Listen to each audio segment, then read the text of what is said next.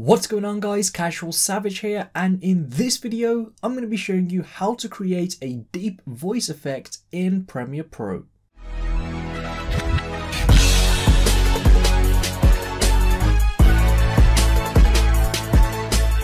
Here we are in Premiere Pro and right now all I'm going to do is play through the raw audio so you can hear how it sounds. This tutorial I'll show you how to create a deep voice effect in Premiere Pro.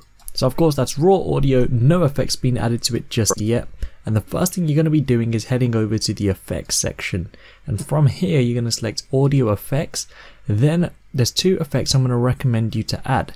Number one is going to be bass. So just drag and drop that on. And then number two will be pitch shifter.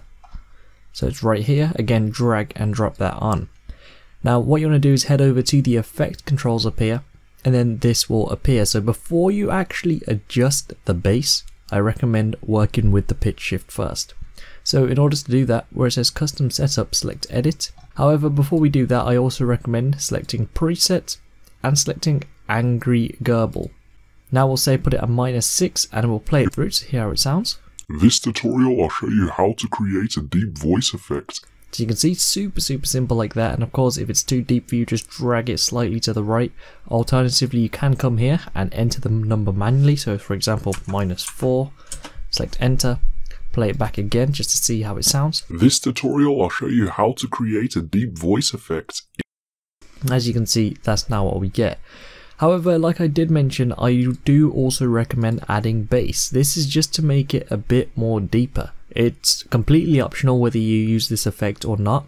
So it's super simple. All you need to do is drag up this. So now that's 6.3 bass boosted. So playing it through. This tutorial I'll show you how to create a deep It just adds a bit more deepness to the voice and it's something I do recommend but like I said it is optional. But that is it, super quick and simple tutorial. That is how you would create a deeper voice in Premiere Pro.